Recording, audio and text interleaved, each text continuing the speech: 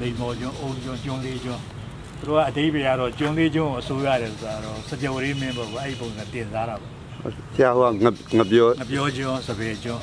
ဒါငပြောကျွန်းအရှိဘက်ကစပယ်ကျွန်းဆောက်ပတ်သွားတယ်ဒီနေ့ကျွန်းကတော့သွားလို့ရတယ်ဟိုတကျွန်းကတောင်ဘက်တောင်ဘက်ချမ်းသာဝင်လို့မရဘူး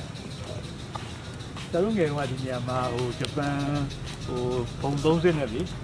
ဂျပန်စတိုင်ဆောက်ဦးလေးရှိတယ်ရွှေဝါးလေးတွေတော်တော်လှတယ်နောက်တော့အဲ့ဒါလည်းမရှိတော့ဘူး တလုံးငယ်က